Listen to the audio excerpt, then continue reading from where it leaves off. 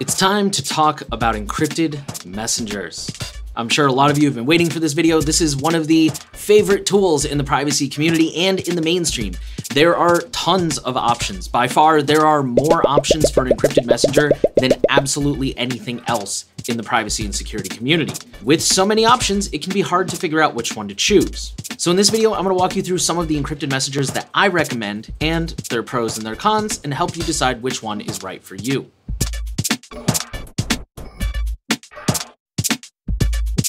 This video is brought to you by Community Support. If you like the new oil and you want to keep us going, be sure to support us. There's a lot of ways to do that. There's a merch store where you can get actual physical merchandise. There's fiat donations via Open Collective and Liberapay, and there is cryptocurrency like Bitcoin, Monero, and others. We also have affiliate links for services that we recommend, where if you go ahead and get a paid plan or buy a product using one of these services, we get a small kickback. So there's a lot of ways to support us. If you are able to, every little bit helps. If not, there's always liking, commenting, subscribing, sharing the video around, and things like that. Thank you so much for your support and keeping us going. So as always, let's start up at the top. What is encrypted messaging? Well, technically, most messaging is encrypted, usually with TLS or SSL, which you probably know as the S in HTTPS. It's actually a surprisingly very secure form of encryption. But this is not end-to-end -end encryption. It's guaranteeing that the connection between your device and the server is encrypted, but once it hits the server, it can be decrypted by whoever owns that server. Zoom actually got in trouble for this earlier in the pandemic because they tried to claim their service was end-to-end -end encrypted, and then people pointed out like, no, you you can still read it on your server, and they tried to be like, well, it's end-to-end -end encrypted to our server. For the record, they have since fixed this, but we still don't recommend Zoom. Usually when we talk about encrypted messaging, we're talking about end-to-end -end encrypted messaging. And what it really means, unless you're Zoom, is that only you and the recipient can decrypt that message. If you want to learn more about encryption and end-to-end -end encryption, I do have an entire video about it that you can watch here. So what's wrong with SMS? AKA, why do I need an encrypted messenger? In some parts of the world, phone plans still charge by the SMS message. This is actually why in other parts of the world outside of the West, things like WhatsApp, Telegram, and Line are incredibly popular because they don't charge you per message. Even if you live in a country where SMS is free and ubiquitous like America, SMS is completely unencrypted. Like totally. When it gets to the carrier's servers, it's unencrypted. As it's traveling through the air, it's unencrypted. Literally anyone can pluck your message out of the air for $20. They can build their own device known as an IMSI catcher, which basically pretends to be a cell tower so that any device in the area will automatically connect to it before connecting to a real cell tower. This is what's known as a man-in-the-middle attack, and it allows them to see all of the text messages in plain text, and you have no idea because they're still getting delivered and sent. You may have heard of this device by its street name, a Stingray which is actually a brand of IMSI catchers that works with police. So these are already incredibly common. Police all over the country use them, and like I said, anyone can build one for 20 bucks. This is really not complicated stuff. Furthermore, your carrier keeps a copy of your SMS messages, again, in an unencrypted plain text state. How long they keep them varies. Some of them only hold it for a few months, some of them hold them for five years or more. Now real quick, let's talk about iMessage and RCS specifically, because I know there's going to be some people out there, specifically Apple users, that say, wait a minute, I thought my iMessages were secure. Uh, you're technically not wrong. Apple has iMessage and FaceTime, which is end-to-end -end encrypted, and recently Android started rolling out their version known as RCS. There's a few problems with this though. For one, these services are not cross-platform. Apple users and Android users cannot communicate securely with each other. For the record, Android has called on Apple to make this an interoperable system, and Apple has refused. There is also no metadata protection, so all of your metadata is clearly visible to Apple and Android. See my video here for more information about metadata. What about Telegram and WhatsApp? I specifically name checked those two at the top, and they are hugely popular, so they must be really good, right? Wrong. I'm gonna pick on Telegram first, and I have a lot of complaints with Telegram. Number one, Telegram is not encrypted by default. In order to start an encrypted conversation, you have to go in and enable it manually. Furthermore, you can only have a one-to-one -one encrypted conversation on mobile. You cannot encrypt group channels, you cannot encrypt calls, and desktop apps cannot participate in encrypted conversations, only mobile can. Telegram also has an atrocious security record. Rather than use an established well-known encryption, they made their own, known as MTProto. Version 1 was flat out terrible. It was bad. I cannot impress upon you guys how bad it was. For many years, cryptography experts warned people not to ever use Telegram. It was hideously insecure. Now, to be fair, Version MTProto 2 is out, and from what I hear, it is much, much better. There are a few theoretical weaknesses. It's still not perfect, but it is a lot better. However, Telegram clearly has a track record that shows they're not great at encryption, so personally, I wouldn't trust it. They also have some really fishy and inconsistent data habits. On their official FAQ, they swear that they have never turned over any user data to any third party, but there are news stories all over that show that is not true. Telegram has repeatedly turned over user data when requested by governments all over the world. You can call me biased if you want, but I just laid out all the evidence. In my opinion, Telegram is not an encrypted messenger. If you want to use it as a social media tool and a chat app, that's totally fine. And feel free to take advantage of the encryption if you decide to do that. But please don't call it an encrypted messenger because at best that comes with caveats. WhatsApp's concerns mainly center around the fact that they are owned by Meta, aka Facebook, who also has a god awful track record with privacy and security. There's literally entire documentaries about how awful their privacy practices are. WhatsApp shares all of your metadata with Meta, Period. End of story. Again, if you don't know what metadata is or why it matters, video on the topic. The metadata that WhatsApp shares with Meta includes things like who you message, when, how long your calls and interactions are, groups that you're in, including group name, picture, and description, device information like battery level, signal strength, browser information, mobile network information, ISP, device identifiers, precise location data, and they can collect your contact information if another user has your contact information saved in their address book and they give WhatsApp access. Now, before anyone gets too mad at me, analytics are not necessarily a bad thing. There are certain analytics that help the company improve the product and know how their device is being used so they know who to cater their audience to. I don't think it's necessarily a big deal to know if you're running iOS or Android or what version you're running. That's useful stuff for them to know. But things like your battery level, your signal strength, your ISP, there's no reason for them to know that. They don't need that information. Their privacy policy says that even if you disable precise location, they will still infer your general location using things like your IP address and your mobile provider. They just don't respect your privacy. Unlike all of these apps that I'm about to list, who are significantly better. Now, I want to go ahead and address the elephant in the room. I went with a clickbait title. Sort of. At the time of recording, I'm thinking of going with a title like, What's the Best Encrypted Messenger? or something like that. Well, the truth is, there is no best encrypted messenger. There are only ones that are best for your situation. There's a lot of different situations, there's a lot of different case uses and threat models. So in this video, I'm going to highlight the messengers that I recommend on my website. I'm to go in alphabetical order, just like the website, along with the pros and cons, and I'm going to explain what kind of situations I would use these apps in. Now, like I said at the top, there are tons of encrypted messengers. I know for a fact there are some that are really popular in the privacy community right now that I have not listed here. If you think I should list one of them, by all means, let me know, especially if you open an issue on GitLab, because if you just leave it in the comments, I will probably forget to check it out. I do have a set of criteria for encrypted messengers. At this time, some of the most relevant ones are, for example, it must have an open source client. It must be available on all operating systems, which means Android, iOS, and desktop. Web apps are acceptable, and it must be end-to-end -end encrypted by default. Be sure to check the sources for my most recent set of criteria, because honestly, I will probably have updated those in between when I shot this video and when it comes out, because while prepping for this video, I realized that my criteria could use a little bit of tightening up. Let's start off with Jami. Jami is a peer-to-peer -peer messenger, which means that there is no server in between you and who you're talking to. With a lot of messengers, let's say you message me and I'm offline, the message will be stored on the server until I come online and am able to receive the message. Like maybe my phone is off or I have no signal or something like that. Peer-to-peer -peer means that there is no server where the message will be stored. It will be delivered immediately. If I'm not online, the message will simply be kicked back to you until I am online. Jami is username based, which means that you never have to give out a phone number or any identifying information, and it is anonymous, meaning it doesn't require any identifying information like a phone number to sign up. Jami is not audited and it does not make any efforts to limit the amount of metadata it collects. It also does not have disappearing messages, which depending on your threat model may or may not be interesting to you. I would use Jami if I wanted a peer-to-peer -peer solution that worked across all platforms. For example, if I distrusted the server, or maybe I'm in an area with poor infrastructure and the signal is not always reliable. Next up is Matrix. Matrix is federated, which means that there is no central server. Anyone can set up their own server and they all communicate.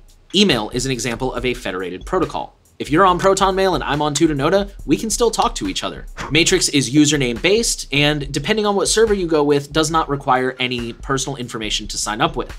Every server I've ever used will accept forwarding email addresses like SimpleLogin. You can self-host your own server for maximum data control, and Matrix can actually be bridged to connect to other services like Discord, Signal, and I think WhatsApp. Unfortunately, Matrix has not been audited. They do not make any efforts to minimize metadata. The default home server matrix.org is based in the UK, which is a Five Eyes country. They do not offer disappearing messages, and one-to-one -one messages are encrypted by default, but group messages and rooms have to be enabled. In my opinion, the best use case scenario for Matrix is for communities and group collaboration. For example, my band uses Matrix as an alternative to Slack. The new Oil also has a Matrix community, which I highly encourage you to check out if you're looking for other like-minded privacy people. Next, let's talk about Session. Session has been audited, although admittedly it was quite a while at this point and they have made a number of changes since then. They are probably due for an updated one. They are decentralized. They're not federated. There's a little bit of a difference. Session is username based and in fact picks your username for you, so it's almost impossible to like identify yourself except for the display name. They are metadata resistant. They have a multi-hop type communication protocol similar to Tor that is designed to strip metadata and make it harder to trace your traffic. They do not require any data to set up, identifying or otherwise, and they offer disappearing messages. It should be noted though that Session is still technically considered in beta, and it's a little bit buggy, and due to the onion router nature of it, it can be a little slow sometimes. Session is also missing certain security features like perfect forward secrecy. In my opinion, they provided a very valid explanation for why they chose to drop this feature, but I know some people feel really strongly about it, so I just wanted to make you guys aware. At this time, I have no reason to suspect that their security is not good enough, but it's definitely not as strong as some of the other options on this list, like the one we'll talk about next. I would use Session if I was in a situation where I valued anonymity above everything else. If being anonymous is more important to you than having the top of the line security and the latest features that other messengers have, Session is your messenger of choice. Now on the topic of top of the line security, let's talk about Signal. Signal is one of the most popular messengers out there right now, not just on this list, but in general. Signal has been audited. They have been proven not to log any significant metadata.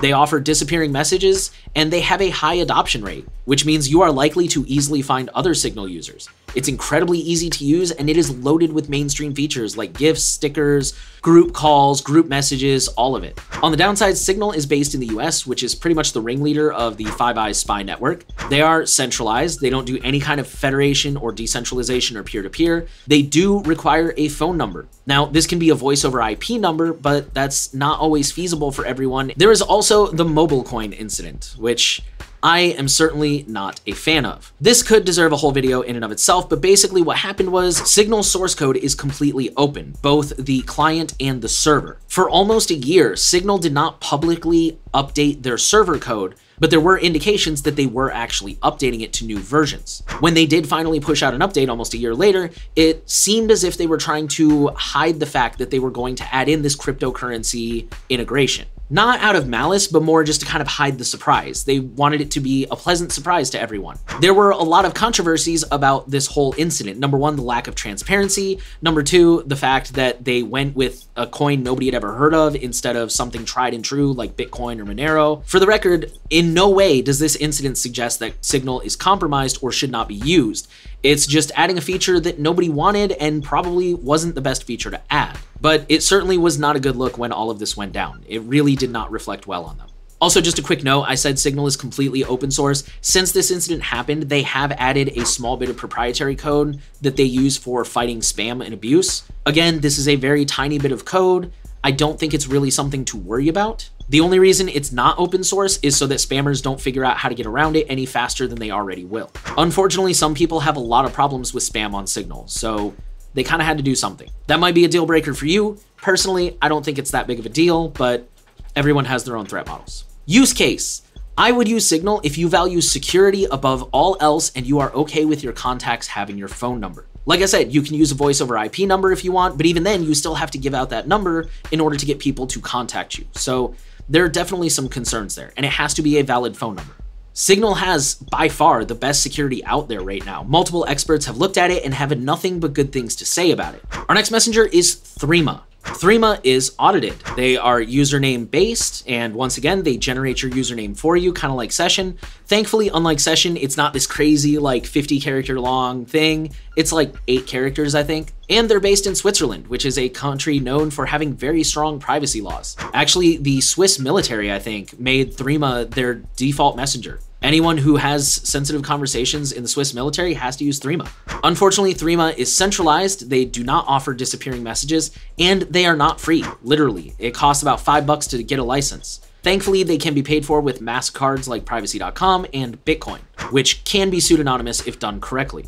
Their whole argument is you're paying somewhere. Either you're paying with your data or you're paying with your money, so they're just trying to be upfront about it, which I kind of respect that argument, but to be fair, a lot of people admit it's hard to get your friends and family to fork over five bucks to switch to an encrypted messenger.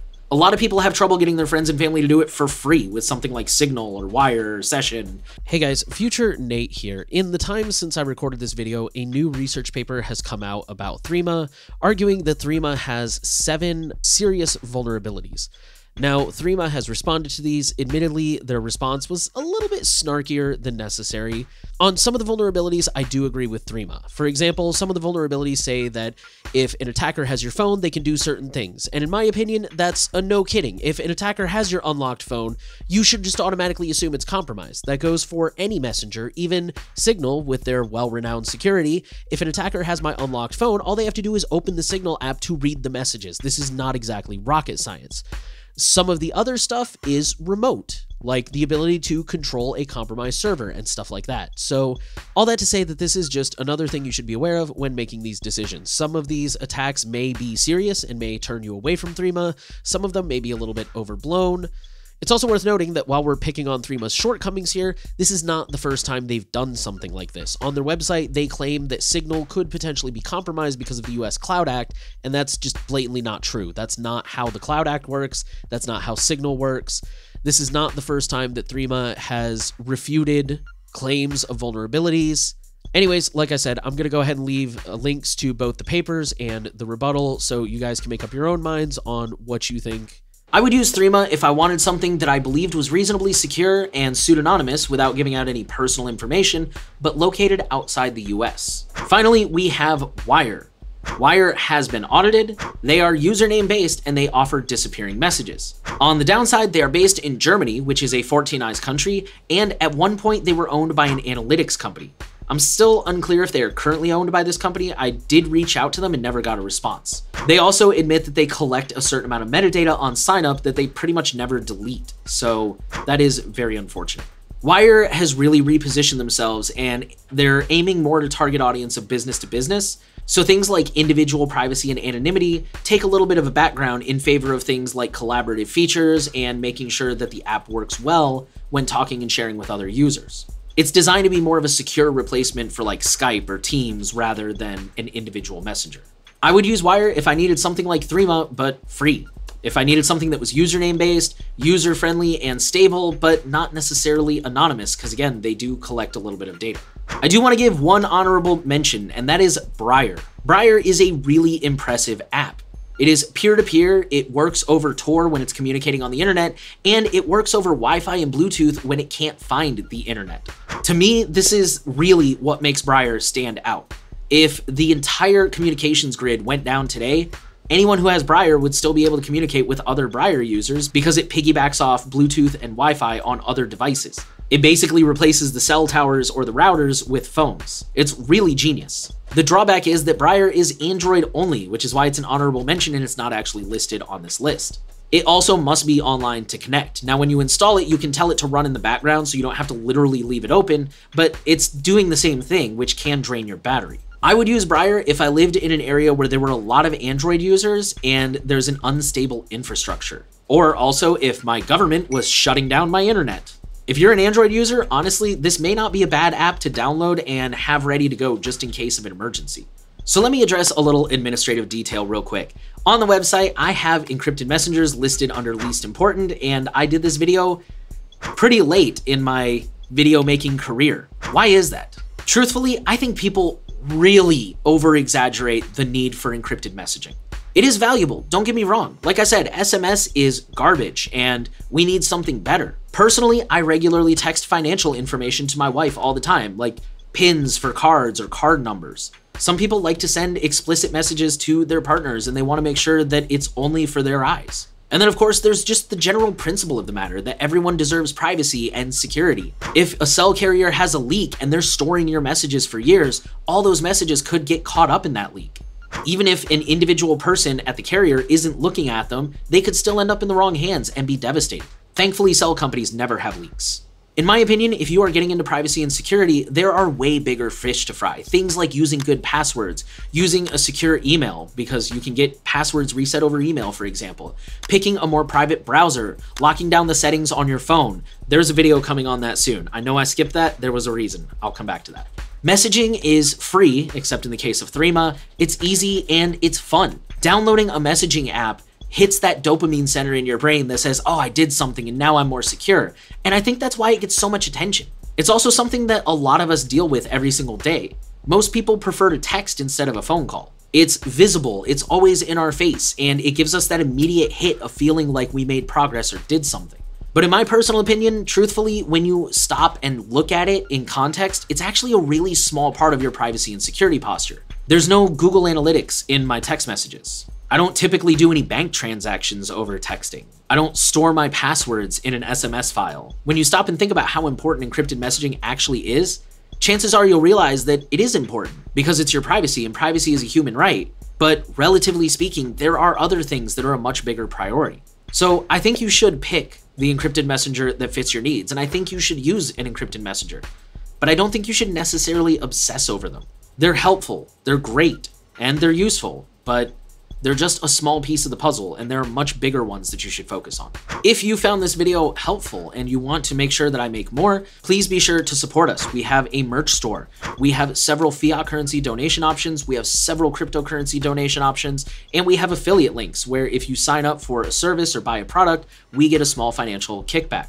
Every little bit helps and keeps us going. If you're unable to afford any of that, be sure to like and subscribe and spread the video around to anyone you think who could benefit from it. If you think I'm totally wrong and I didn't mention your favorite messenger, or you disagree with my stance on encrypted messaging as a priority, then you should go ahead and buy a shirt just so you can burn it. That'll really show me. As you can see, there is no perfect messenger. There is no messenger out there that is federated and decentralized and doesn't require any personal information and is financially free and doesn't record any metadata and uses usernames and is on every single platform that you need it and so on and so forth. It just, it doesn't exist. But hopefully this video has walked you through some of the ones I recommend and helped you think through the use cases and which one might be right for you. I wish there was a perfect messenger, but there's not. Again, if you think I missed one, first, please check the criteria please check the criteria. and if you really think I should add it to the site, be sure to open a GitLab issue, because if you just leave it in the comments, I will probably forget it. If you want more info on all of these messengers or any additional resources to help you pick a messenger, there are resources on my site. Not only is there my site, but down at the bottom, I list a couple of comparison charts that will give you more in-depth information into all these different messengers. Thank you guys so much for watching, and I will see you in the next video.